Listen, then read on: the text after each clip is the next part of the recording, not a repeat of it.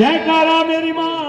Project chairman ਕੇਵਲ ਕਿਸ਼ਨ ਮਹਾਜਨ ਜੀ। Project chairman ਕੇਵਲ ਕਿਸ਼ਨ ਗੁਪਤਾ ਜੀ, ਧਰਮਪਾਲ ਬੱਬੂ ਜੀ, ਕ੍ਰਿਸ਼ੀਵਾਲ ਭੰਡਾਰੀ ਜੀ।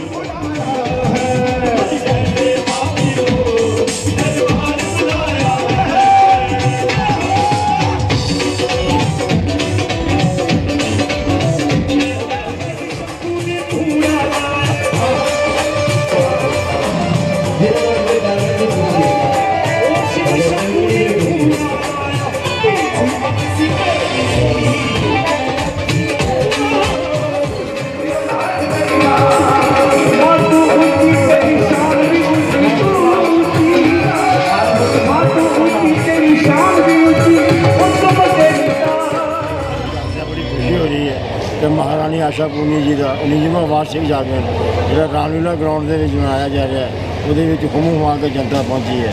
ਔਰ ਮੈਂ ਸ਼ਹਿਰ ਵਾਸੀਆਂ ਨੂੰ ਬੇਨਤੀ ਕਰਦਾ ਕਿ ਇਸ ਤਰ੍ਹਾਂ ਹੀ ਮਹਾਰਾਣੀ ਦੇ ਹਰ ਕਾਰਜਕ੍ਰਮ ਦੇ ਵਿੱਚ ਵੱਧ ਚੜ੍ਹ ਕੇ ਹਿੱਸਾ ਲੈਣ ਔਰ ਮੰਦਿਰ ਕਮੇਟੀ ਦਾ ਸਹਿਯੋਗ ਕਰਨ। ਮੈਂ ਬੇਨਤੀ ਕਰਾਂਗਾ ਕਿ 18 ਤਰੀਕ ਦਿਨ ਮੰਗਲਵਾਰ ਨੂੰ ਮਹਾਰਾਣੀ ਦਾ ਪ੍ਰਸ਼ਾਦ ਮੰਦਿਰ ਪ੍ਰਾਂਗਣ ਦੇ ਵਿੱਚ ਵੰਡਿਆ ਜਾਏਗਾ।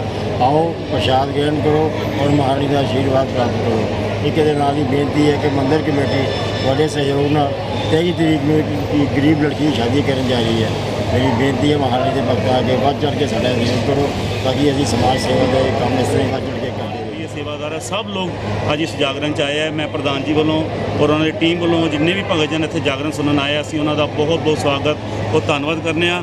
ਔਰ ਜਗਤ ਜਨੀ ਮਾਂ ਆਸ਼ਾਪੁਰਨੀ ਮਾਂ ਅੱਗੇ ਹੀ ਬੇਨਤੀ ਕਰਨੇ ਆ, ਇਹ ਮਾਂ ਇਹ ਪਠਾਨਕੋਟ ਸ਼ਹਿਰ ਜਿਹੜੇ ਮਾਂ ਦੇ ਬੱਚੇ ਜਿਹੜੇ ਤੁਹਾਡੇ ਚਰਨਾਂ ਹਾਜ਼ਰੀ ਪ੍ਰਵਾਨ ਕਰਨ ਆਉਂਦੇ ਆ, ਇਹ ਦਿਨ ਦੁਗਣੀ ਰਾਤ ਚੁਗਣੀ ਤਰੱਕੀਆਂ ਕਰਨ ਔਰ ਇਸੇ ਤਰ੍ਹਾਂ ਸਮਾਜ ਦੀ ਸੇਵਾ ਔਰ ਮਾਂ ਦੀ ਸੇਵਾ ਕਰਦੇ ਰਹਿਣ, ਜਿਸ ਤਰ੍ਹਾਂ ਪ੍ਰਧਾਨ ਜੀ ਨੇ ਦੱਸਿਆ ਕਿ ਮੰਦਰ ਕਮੇਟੀ ਜਿੱਥੇ ਬਹੁਤ ਸਾਰੇ ਧਾਰਮਿਕ ਕੰਮ ਕਰਦੀ ਹੈ, ਉਹਦੇ ਨਾਲ ਨਾਲ ਸਮਾਜ ਭਲਾਈ ਦੇ ਕੰਮ ਵੀ ਕਰਦੀ ਹੈ।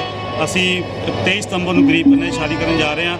ਔਰ ਸਾਡਾ ਪਰਮਾਨੈਂਟ ਜਿਹੜਾ ਪ੍ਰੋਜੈਕਟ ਹੈ, ਉਹ ਜਿਹੜਾ ਅਸੀਂ ਮੈਡੀਕਲ ਚੈੱਕਅਪ ਕੈਂਪ ਲਗਾਉਂਦੇ ਹਾਂ ਹਾਰਟ ਦਾ, ਉਹ ਵੀ ਹਰ ਮਹੀਨੇ ਪਹਿਲੇ ਹਫ਼ਤੇ ਲਗਾਉਂਦੇ ਹਾਂ।